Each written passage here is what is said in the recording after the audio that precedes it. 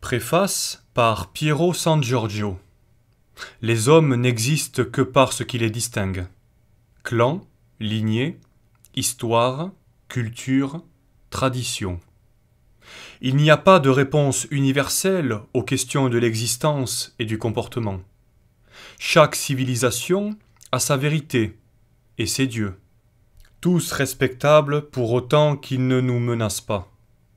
Chaque civilisation apporte ses réponses, sans lesquelles les individus, hommes ou femmes, privés d'identité et de modèle, sont précipités dans un trouble sans fond.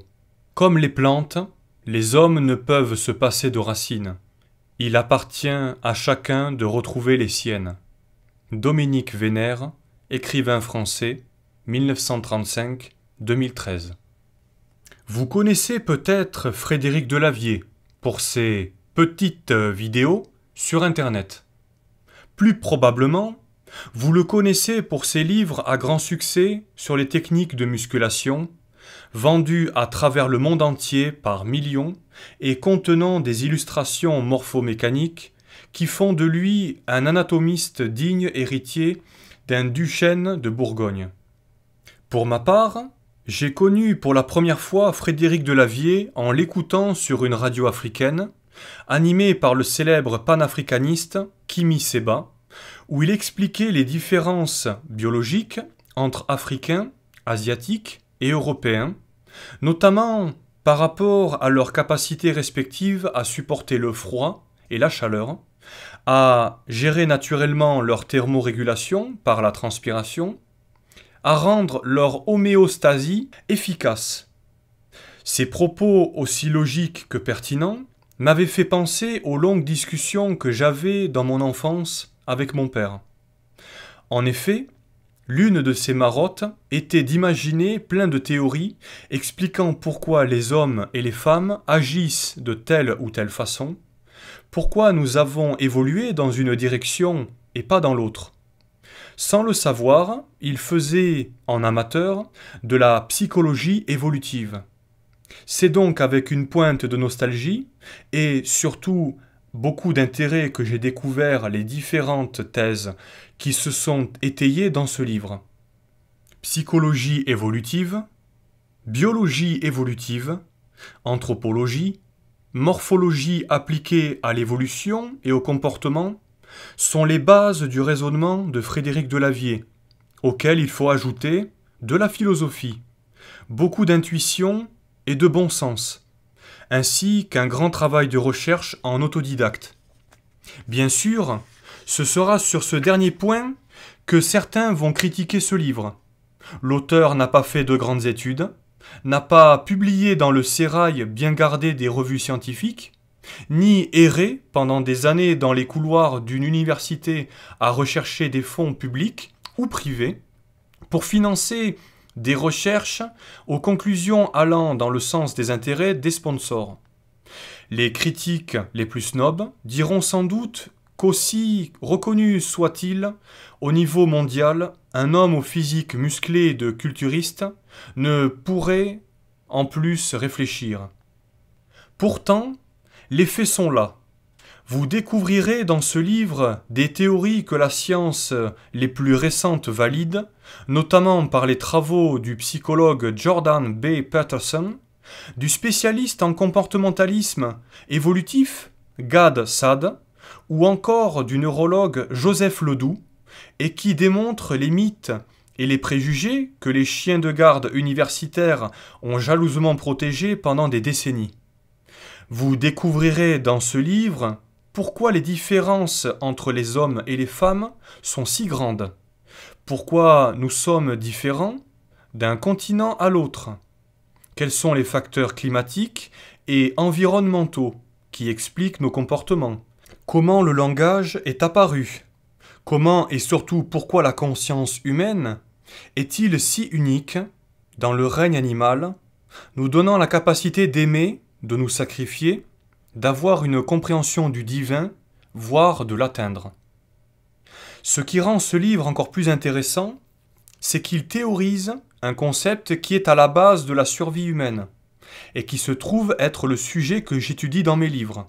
Frédéric Delavier explique tous les réflexes et comportements liés à la recherche et à l'accumulation des ressources, et donc de comprendre comment nous sommes programmés pour les obtenir, que ce soit par la chasse, par la cueillette, par le travail, ou encore par la prédation. Ces ressources, ces calories, ne nous aident pas seulement à la survie brute, psychologique, mais aussi à obtenir du prestige, la reconnaissance de nos pères, et enfin l'accès à la meilleure reproduction possible, finalité biologique de l'individu comme de l'espèce. De plus, comprendre les différences entre les hommes de différentes ethnies et origines peut nous aider non pas à asseoir des prétendues suprématies dans tel ou tel domaine physique et intellectuel, mais à comprendre nos forces et nos faiblesses pour mieux nous comprendre et nous améliorer grâce à notre volonté et notre conscience, et ainsi retrouver et étendre un libre arbitre et une responsabilité qu'une biologie très déterministe a fortement limitée. Ainsi, c'est à nous aider à trouver en nous les capacités de la maîtrise de notre destin, à laquelle œuvre Frédéric Delavier dans ce livre. C'est donc par la compréhension des mécaniques profondes et originelles de l'homme que nous pouvons comprendre qui nous sommes, d'où nous venons et où nous allons. Ce livre de Frédéric Delavier est donc indispensable pour toute personne qui veut comprendre le monde, se comprendre et, enfin, devenir un homme libre. Genève, octobre 2017. Préface par Stéphane Édouard. Je ne lis jamais les préfaces des autres. J'ignore l'art consommé du préambule. Lecture, écriture. Je démarre par la fin, et rigoureusement, tout ce qui précède le chapitre premier me semble un brouillard de mots-clés, une petite berceuse prémonitoire, du coton anesthésiant avant l'impact du premier paragraphe décisif. Oui, l'impact. Car un bon livre tient lieu de claques, de tartes, de nions, de pain, de marrons. On devrait lire avant tout pour se ramasser une gifle de réalité, ou bien il faut s'abstenir. Pour badiner sans trop se faire mal, il y a déjà les dîners, les cafés au comptoir, les écrans et les discussions avec sa maman. Surtout les écrans. Et c'est justement sur le plus petit d'entre eux, l'écran de mon téléphone, que j'ai découvert l'ami de Lavier. Le jeu des algorithmes et des recommandations croisées qui régit YouTube avait adjoint l'une de ces petites vidéos à ma déjà longue liste des à voir plus tard. À moins qu'il ne s'agisse d'une recommandation croisée, je ne me souviens plus. Ce dont je me souviens en revanche, c'est que le personnage m'est apparu haut en couleurs.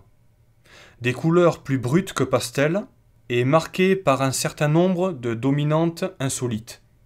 En un, sa morgue non dissimulée pour la modestie et ceux qui s'en réclament. En deux, une soif d'autodétermination, être à l'origine de ses propres découvertes. En trois, une indifférence consommée vis-à-vis d'un sérail universitaire qui ne l'a pas copté.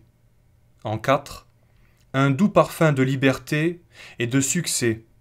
Succès d'édition dans le réel, succès de popularité sur Internet. Les gens libres, dans un monde où il est toujours moins coûteux de demeurer asservi, méritent votre attention, car ils ont au moins réussi quelque chose dont leurs congénères ne peuvent s'enorgueillir, se suffire à eux-mêmes. La liberté, c'est d'abord se donner les moyens de devenir la cause numéro un de ce qui vous arrive. Le reste étant fait d'impondérables, sur lesquels les stoïciens nous recommandent de ne pas trop nous appesantir. L'écrivain italien Alessandro Barrico expliquait en 2006 qu'une invention révolutionnaire ne se contente pas de coïncider avec l'extension du marché de destination. Elle le crée. À l'instar de l'imprimerie, qui a vu le marché des lecteurs de livres passer d'une poignée de clercs à plusieurs milliers de curieux, ce maquillage planétaire de serveurs et de protocoles appelé Internet a poursuivi son destin ontologique en finissant d'ouvrir le marché du livre aussi aux non-lecteurs. Il n'est désormais plus nécessaire d'avoir parcouru les ouvrages de Fred pour connaître l'essentiel de sa pensée, encore moins de les posséder dans sa bibliothèque. Aujourd'hui, on peut bien sûr lire du Delavier, mais aussi le regarder de nuit, accoudé derrière ses lunettes dans son bureau quelque part en Europe centrale, ou encore, comme moi, l'écouter en fond sonore pendant des ablutions matinales dans la salle de bain, Bonsoir, c'est Frédéric Delavier. Alors ce soir, je voulais vous faire une petite euh, vidéo.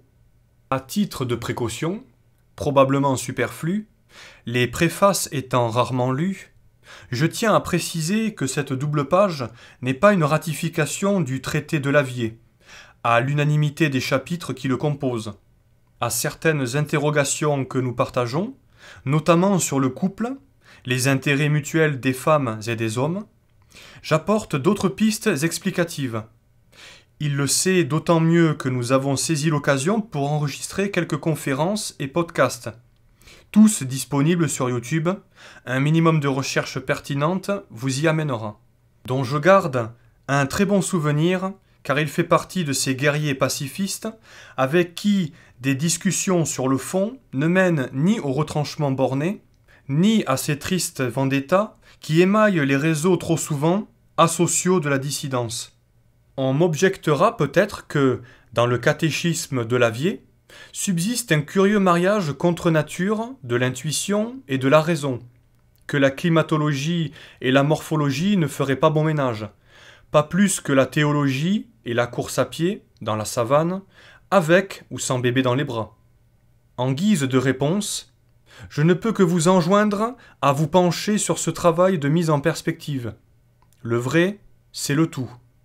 En même temps que souligner la patience opiniâtreté d'un homme qui depuis des années et presque toutes les nuits prend en moyenne une heure de son temps pour disserter anthropologie avec ses contemporains.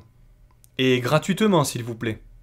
Alors, comme disait André Gide, toutes choses sont dites déjà, mais comme personne n'écoute, il faudra toujours recommencer. Rome, mars 2018. À mon fils Leonardo et à tous les enfants du monde, en espérant que ce livre vous permette, quand vous serez grand, quand vous serez des hommes, de comprendre le fonctionnement du monde, sa cause et son but, que vous puissiez, en pleine conscience, expérimenter du mieux possible la vie et les relations à l'autre, afin d'aimer et d'être aimé, ce qui est la cause et la finalité de ce monde.